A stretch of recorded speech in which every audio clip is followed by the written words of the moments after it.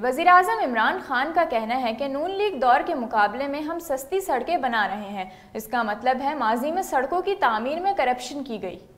इमरान खान ने झल जाओ बेला शाहरा की अपग्रेडेशन का संग बुनियाद रखने की तकरीब से खिताब में कहा कि पिछली हुकूमत में सड़कों की तमीर में करप्शन की गई और पैसा बनाया गया। एफ़ आई ए से इस मामले की तहकीकात का कहा है।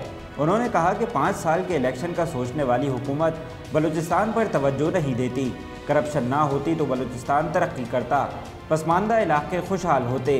अपने हलके का सोचने वाले बलूचिस्तान के सियासतदान भी कसूरवार हैं। इमरान खान ने कहा कि कोशिश है सत्तर साल में पीछे रह जाने वाले इलाकों के लिए काम करें।